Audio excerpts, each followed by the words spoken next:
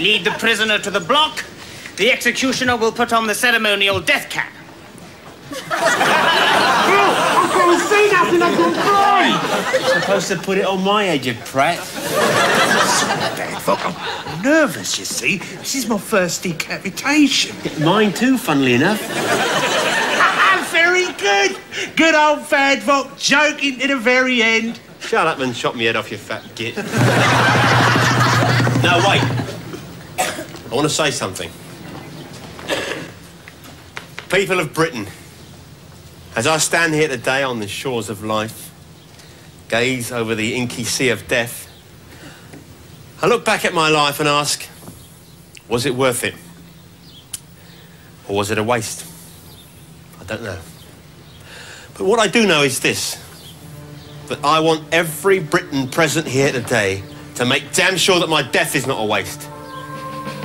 I want my death to be a birth. A birth of fierce anti Roman feeling.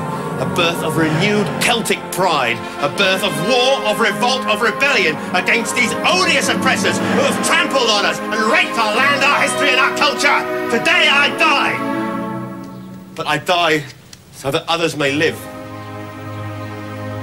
Marvellous speech. Total bollocks, of course.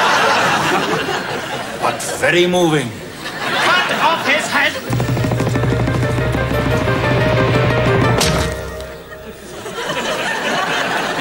That programme was shown as a tribute to Rory McGrath, who died earlier this year in an accident while filming this series. In next week's episode, the part of Badvoc will be played by Bonnie Langford. Howard Lew Lewis is currently facing charges of manslaughter. So, for the rest of the series, the part of Blag will be played by Elizabeth Taylor.